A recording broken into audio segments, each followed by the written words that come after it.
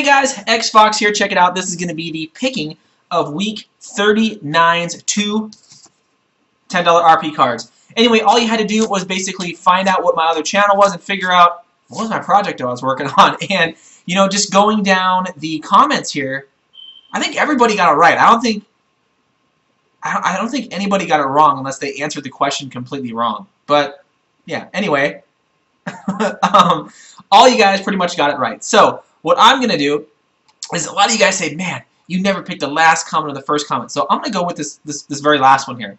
So, Jerry Wright. Come on, man. You better have me in your feature channels list. there we go.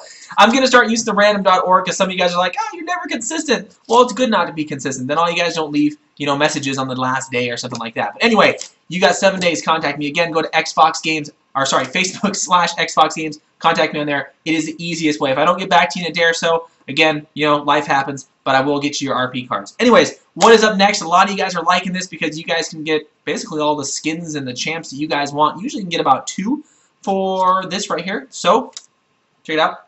Got two more $10 RP cards up for grabs. Again, I got a ton more you guys can see that I got to give away.